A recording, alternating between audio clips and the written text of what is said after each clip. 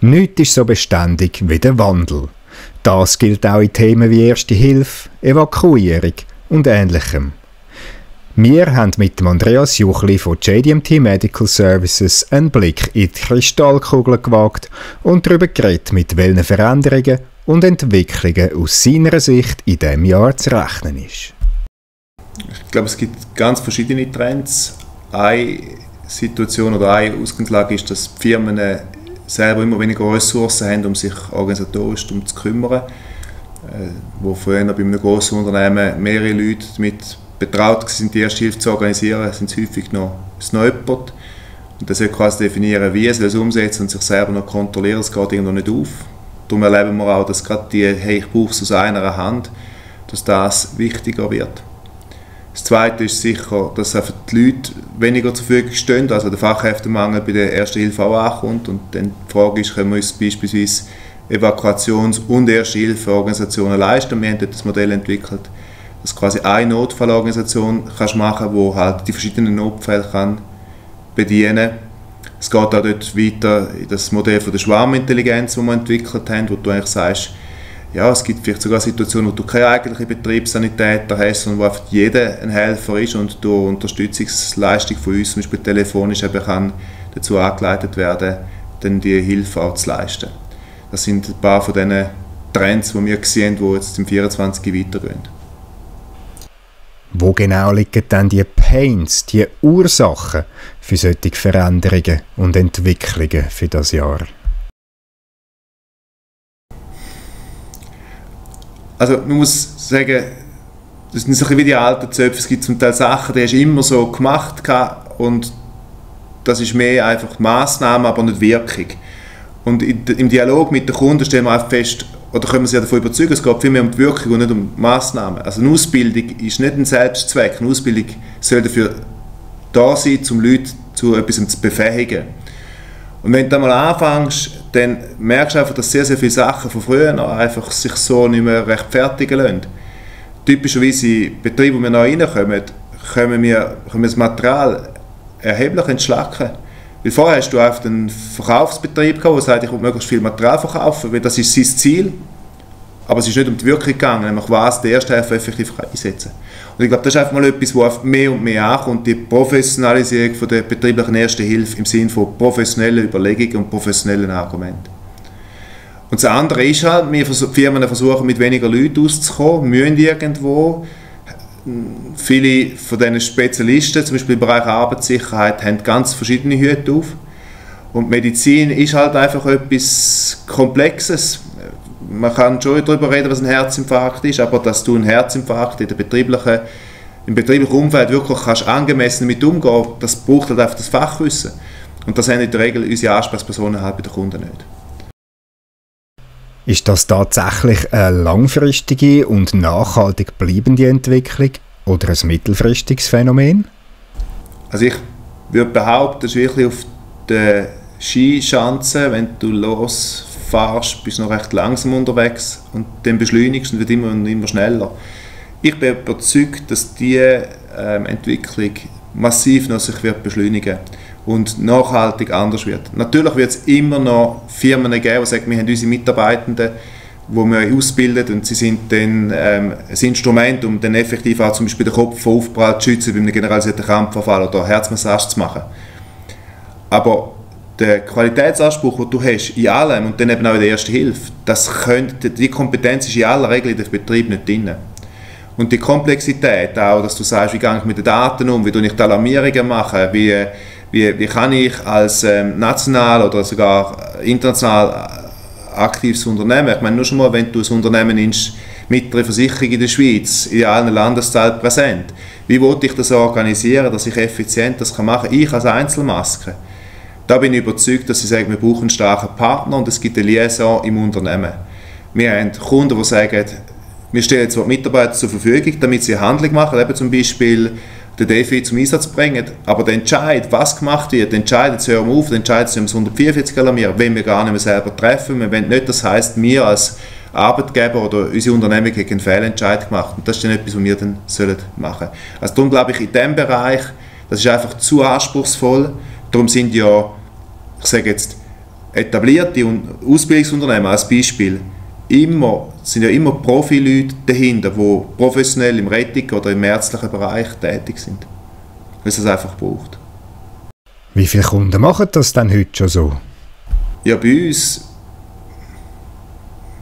Wie viele machen das schon? Je komplexer das Unternehmen, komplex im Sinne von verschiedenen Sprachregionen beispielsweise, ähm, umso eher hat die äh, Entwicklung schon stattgefunden oder sie wissen, sie sollten es längst schon machen. Ich kenne kein Unternehmen, wo mehr als zwei Personen betraut sind mit diesen Themen. Meistens sind es eine Einzelperson.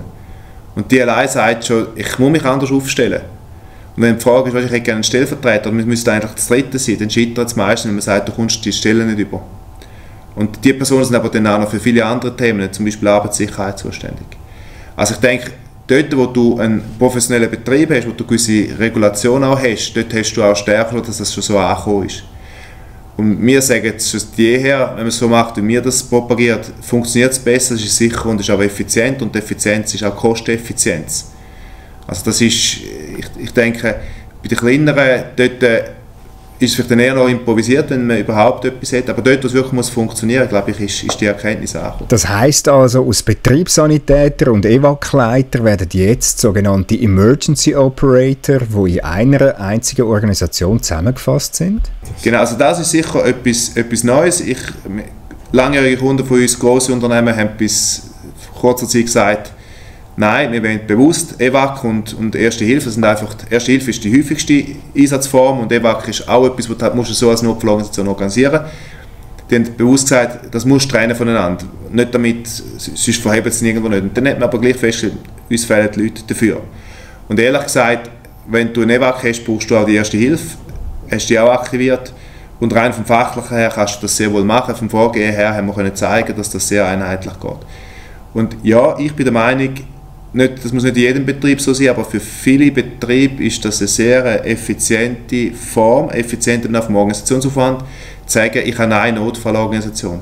Weil es gibt ja irgendeinen anderen Notfall, wo man noch stattfinden kann, wo einfach sagst, ich möchte Leute, die strukturiert mit einem gewissen Teamverhalten sich in einem Ereignis entgegenstellen, bis zum Beispiel eine Blaulichtorganisation da ist und das ist einfach zweckmäßig, wenn du da quasi ein Werkzeug für alle Fälle hast. Verlangt das auch nach neuen Konzept oder macht man es mit dem Konzept wie gehabt? Es braucht schon neue Konzepte. Ich denke, wenn man es vergleicht mit der, zum Beispiel im ersten Hilfebereich mit Ausbildungsformat, die bekannten, ob jetzt IVWare oder nicht IVWare, die sind mehr auf Ausbildungsinhalt und weniger auf Wirkung ausgerichtet. Und wir tun jetzt im 24 viel, viel stärker vermitteln, dass man sagt, jetzt hast du einen Kreislaufstillstand und welche Ziel, wenn ist eine Reanimation eine gute Reanimation? Natürlich, wenn der Patient überlebt, aber wenn zum Beispiel die Zeit bis zum ersten Schock so und so kurz ist, wenn so und so wenig Unterbrüche sind. Und das ist jetzt etwas, was wir machen, um wirklich noch viel, viel stärker zu sagen, ich bilde dich zu dem aus, was du jetzt effektiv musst können. Weil all das im Hintergrund, oder überlegen, was könnte ja auch noch sein, das Hintergrundwissen, das geben wir dir durch unseren telefonischen Support im Ereignis.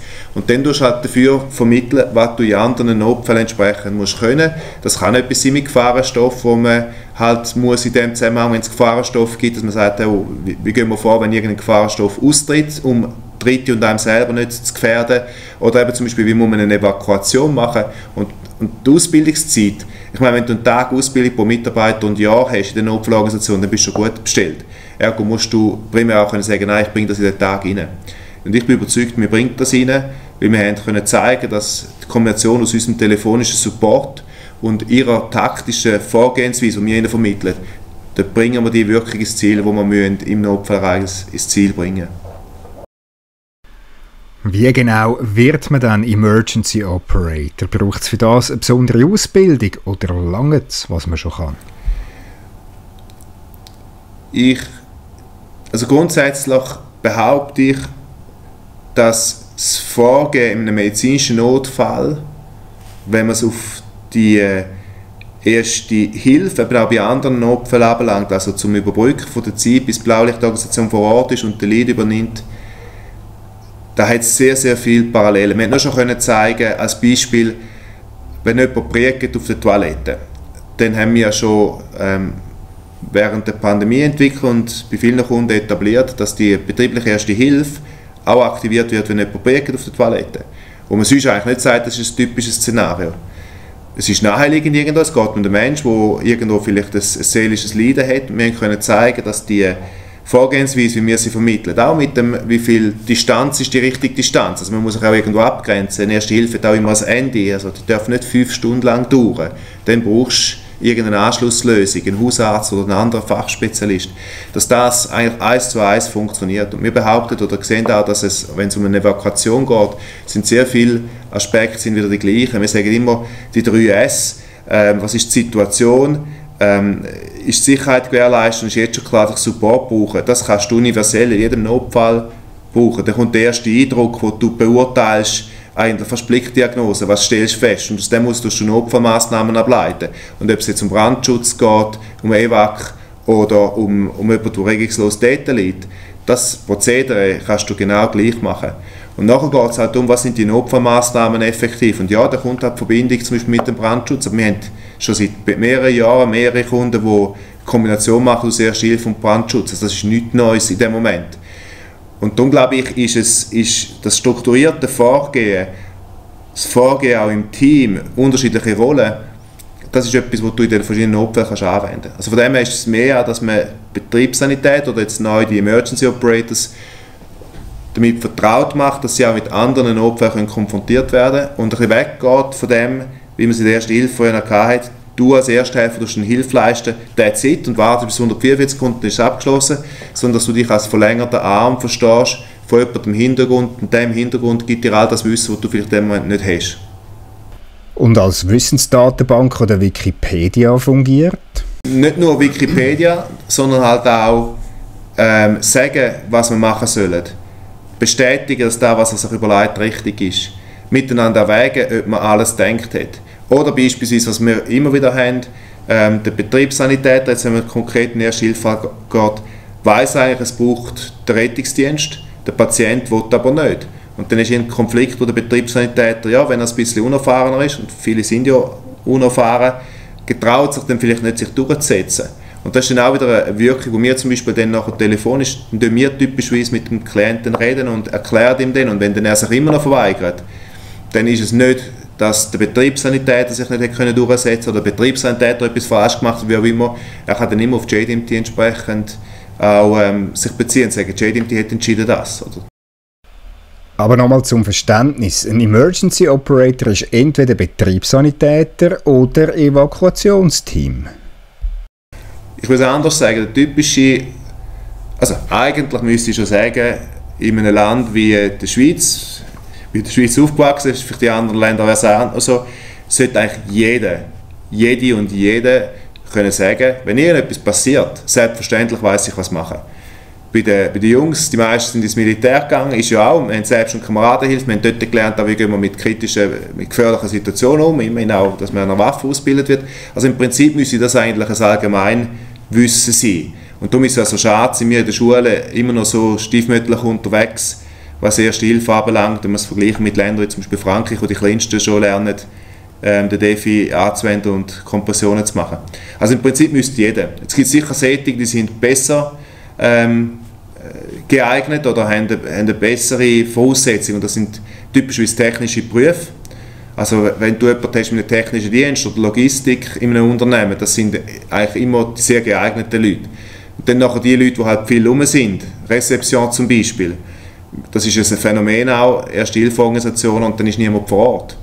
Oder eben auch dasselbe, also weil sie halt einfach Homeoffice haben oder nicht immer am gleichen Standort arbeiten. Also von dem her, dort kommt dann der Punkt dazu, dass man mit dem Auftraggeber muss schauen, welche Leute schaffst du effektiv auch vor Ort zu damit sie ihre Leistung können entwickeln können. Aber wir sind klar der Meinung, das, was wir vermitteln und was wir sehen im Emergency Operator, bringst du mit jeder Person her. Weil jede Person will und soll in der Lage sein, in einem Notfall können sich zu schützen und strukturiert vorzugehen, wenn immer, insbesondere wenn jemand noch da ist, der ihm auch hilft in der Entscheidungsfindung. Gibt es denn auch irgendeine Richtgröße, wie groß eine solche einheitliche Notfallorganisation soll sein? Also ich finde, das ist halt das ist genau Ausdruck von so einer veralteten Betrachtungsweise. Da kannst du noch sagen, und sie brauchen so viele Sanitätsbüchsen und noch vielleicht irgend so viele Rolltragbaren und, und was auch immer für spezielle Stühle.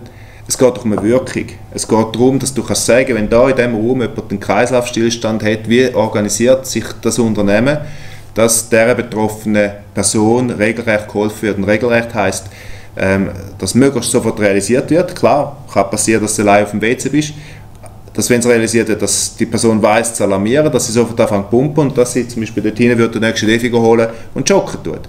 Also es, das ist eine Organisationsfrage. Und aus dem heraus leitet sich dann ab, hast du ein kleines Team oder hast du ein grosses Team. Ähm, wir haben Beispiel Schweizer Fernsehen hat eine Notfallorganisation, da rückt immer jemand aus der Sicherheitsloge mit aus und der kann gehen und der ist immer besetzt.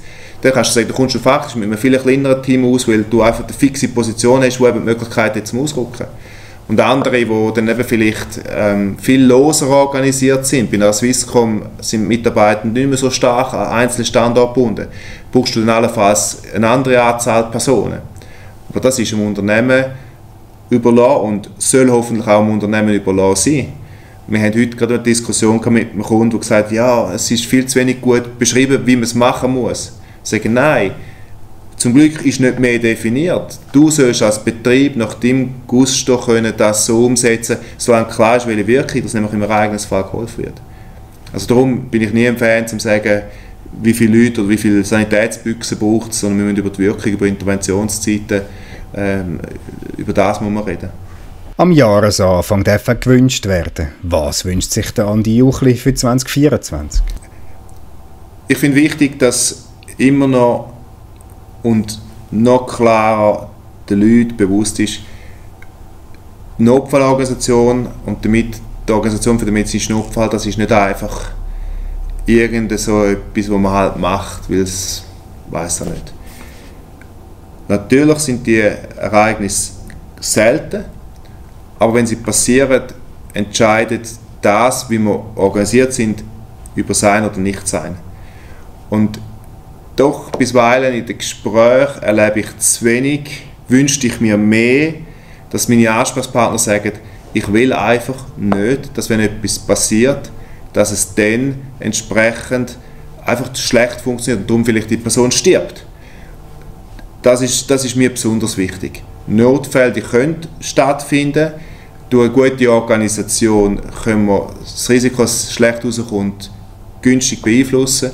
Und wir sollten uns alle auf die Fahne schreiben, auch im 24, dass wir halt einfach miteinander noch viel stärker werden. Eben, du hast initial gefragt, wer ist ein geeigneter Emergency Operator? Das sind wir alle, weil wir alle sollten können mit Notfällen umgehen egal ob es am Arbeitsplatz oder irgendwo im Privaten ist. Mehr zum Thema lesen Sie wie immer auf safety-security.ch.